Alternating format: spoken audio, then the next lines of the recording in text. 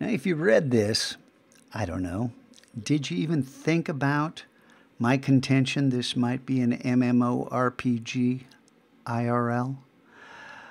Just a thought, just a thought. Well, I just stumbled on this article literally five minutes ago.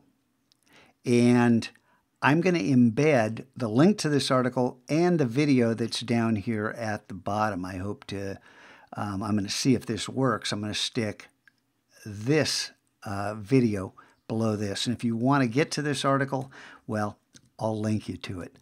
Not required, optional, 100% because, you know, it's your MMO too. You can do what you want.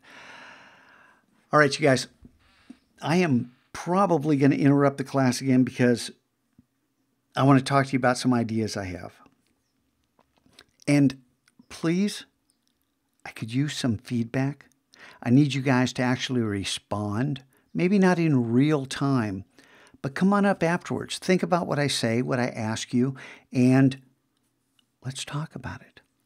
And if you really feel comfortable, let's talk about it in class because it'd be a lot more fun to get everybody involved. But I don't know. It never seems to work in my classroom.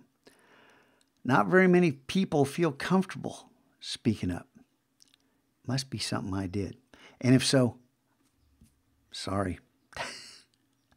it wasn't intentional.